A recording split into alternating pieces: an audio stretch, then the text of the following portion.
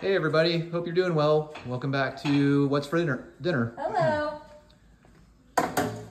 What do we have going on here tonight? Well, tonight we made uh, drumsticks, chicken drums, chicken drumsticks. Okay, in the air fryer. Yep, I just um, sprayed it with avocado oil and then just put garlic and um, Jane's Krazy and Some of this good stuff on Yeah. there. We'll go back to that in a second, but yeah. um, So okay. then I have another tray and I'm just gonna leave it in there to keep it warm. But I just cooked two trays of it, a big pack, yeah. in the air fryer. It probably took about 30 to 40 minutes. Then we get do like 165 is what our uh, sweet spot is, and we know they're done at 165. Yeah, but these were much higher than that. Yeah.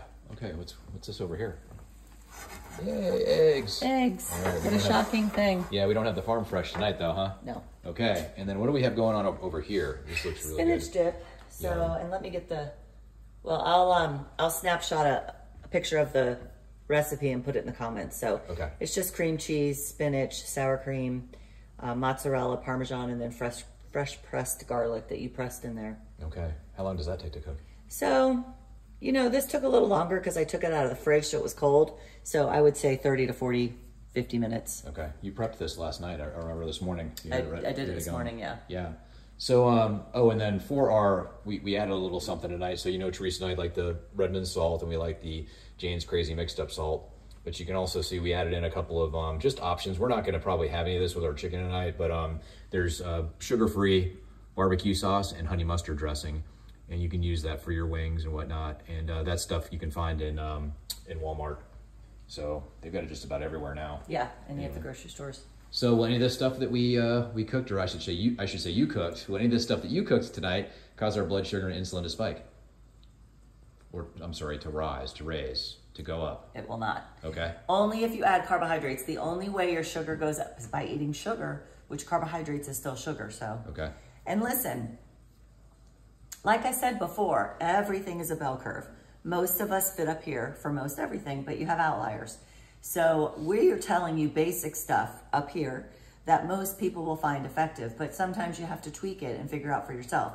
So I was just on Facebook while I was waiting for this to finish and it's within a couple minutes of each other, I found someone that said, you know, something about menopause, fast this way in menopause, don't fast this way, or, you know, like everyone has conflicting info. You just have to find what works for you. Okay. And that entails a little bit of experimentation on your part, mm. you know? yeah. So just figuring out what works for you.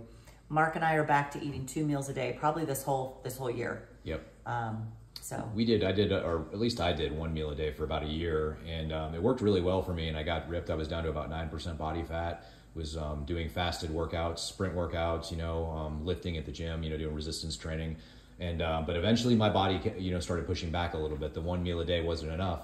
How did I know that? I start. I kept um, close eye on. Um, not, Teresa was keeping a close eye on my blood work, and then I was doing regular uh, body composition analysis. So about every three months, I did that.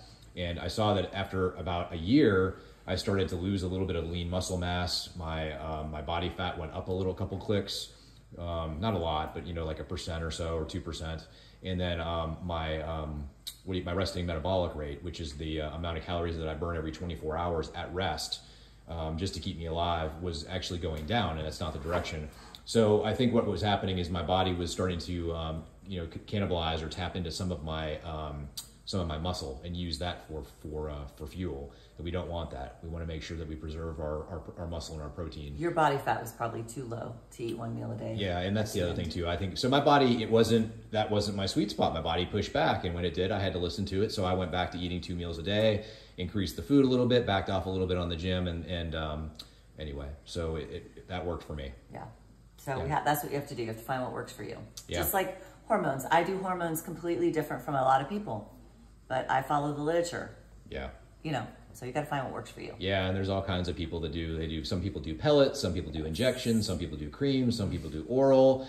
It's all over the place. Yes. And it's um, if you go online and you look it all up, there's a million different choices and there's a million different opinions and um, yeah. Yeah. So uh, what, What questions do you guys have for us that we can talk about one time? Is this still helpful for you guys? Um, you know, just let us know in the comments. Yeah. Share this page with people who have diabetes or struggling, you know, anyone that you think can help. Yeah, people who are trying to lose fat, um, you know, uh, any, anybody who just, you know, wants to reach out with any questions, we're more than happy to answer them for you. Yep. And, uh, and we're here for you guys and just, uh, just let us know what you're having for dinner.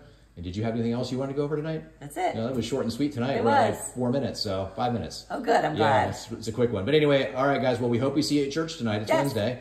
And we love you all, and uh, we'll see you next time. Bye. Bye.